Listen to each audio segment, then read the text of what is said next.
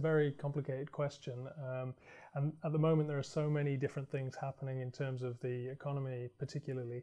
The most recent thing was the uh, collapse of oil prices in 2014, but that was only really masking a longer term collapse in production of oil. And then behind that, there were also various other factors. Uh, there's weak local production in general. There's um, also been problems with finance from abroad and uh, internally, which the government's responded to by simply printing more money, which has just led to an inflationary spiral. And generally, there's been a, a massive problem as well with corruption.